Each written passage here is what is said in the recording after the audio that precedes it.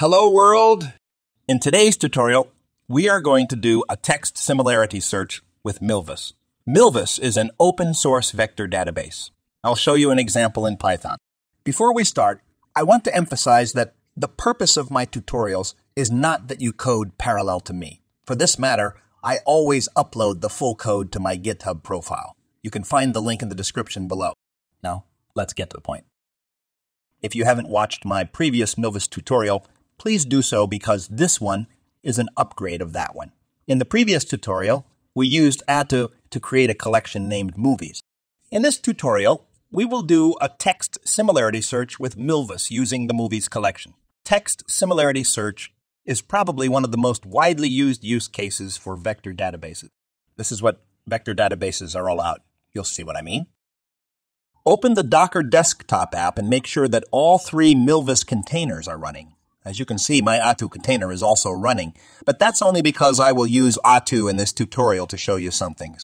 To run the Python script, which I will show you later, you don't need to run the Attu container. You only need to run all three Milvus containers. Okay, so let's look at what we currently have in our Milvus database using Attu, a graphical user interface for Milvus. If you open localhost on port 8000, you should see the Attu dashboard. Here we have the movies collection that we created in the previous tutorial. As you can see, I have two collections, but this one is blurred because it's irrelevant for this tutorial. Inside the movies collection, we have 10 imaginary movie descriptions, which we added in the previous tutorial. Now, everything is prepared to do a text similarity search. Okay, let's look at the code. We will use two things here. spaCy and Milvus Python SDK named PyMilvus. We will use the spaCy pre-trained model, more precisely the large one. Here we connect to the Milvus server. This code is divided into try, except finally blocks. We try to execute the code to get the text similarity results inside the try block. If anything goes wrong, we want to print the error. We handle this inside the except block. If the user wants to stop using the script, we want to disconnect from the Milvus server. We handle this inside the finally block. Now let's look at the code where the magic happens. This script is designed so that the user can describe a movie he or she would like to watch and then get the text similarity results back. For this, we are using the input, which accepts the user's input. This is how we get the user's description. For example, the user could type, I want to watch a comedy. It's important to mention that the user is asked to describe the movie in a loop. In other words, the script doesn't end after the user describes one movie. After the first description, the user can describe another movie and so on. But the loop will break if the user types exit. In this case, the code will execute the finally block and disconnect from the Milvus server. So let's say the user describes a movie. The vector similarity search in general is done by comparing vectors. When we compare two vectors, we can calculate the distance between them.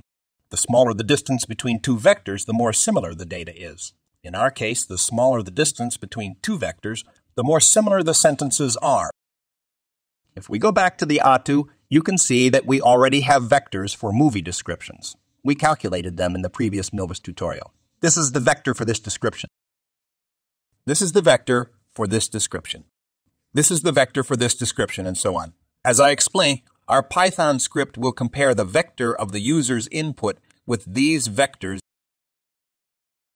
Now, let's look at the code where the magic happens. Here we change the user's input to a 128 dimensional vector. Now we have the vector of the user's input.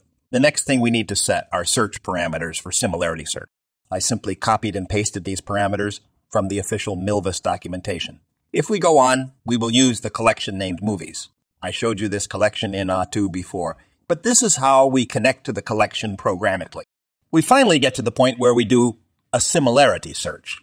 As you can see, we will do a similarity search on the variable collection. In other words, we will do a similarity search on the collection named movies. Let's break down these similarity search parameters. The first one is data. Here we set the vector we want to search with. We want this to be the vector of the user's input which we prepared here. The second one is anns field. Here we set the name of the field in the collection to search on. We want this to be the field named vector. If we look at Attu, it's this one. We want to do a similarity search on vectors. The third one is param, which we prepared here. The fourth one is limit. Here we set the number of results to return. Let's set this to 3, meaning we will get the three most similar results back. The fifth one is output fields. Here we set the name of the field to return. We want this to be the field name description. If we look at Attu, it's this one.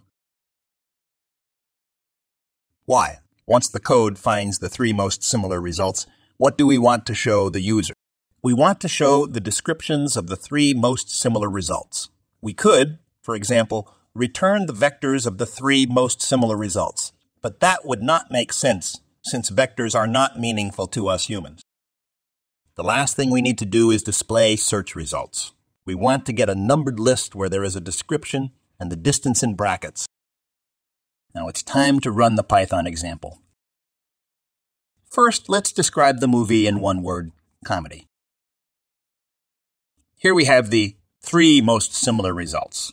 The most similar movie description is the one mentioning a comedy, of course. As you can see, the second is a thriller and the third is a horror. Some other descriptions from the database, for example, a drama might be more relevant and expected to be in the second or third place. But you have to keep in mind that this is a very basic example of a vector similarity search.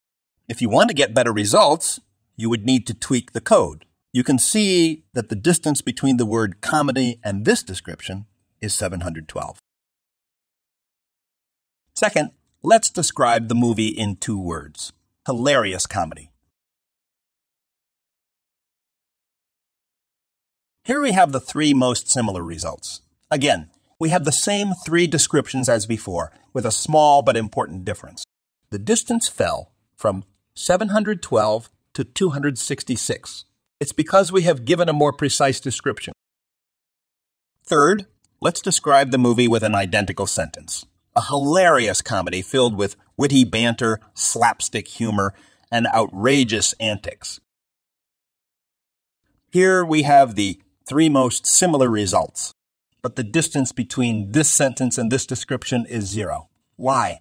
Because they are identical. It's expected. Done. Impressive, right? That's it. Thanks for watching. If this tutorial was helpful, please like, comment, and subscribe.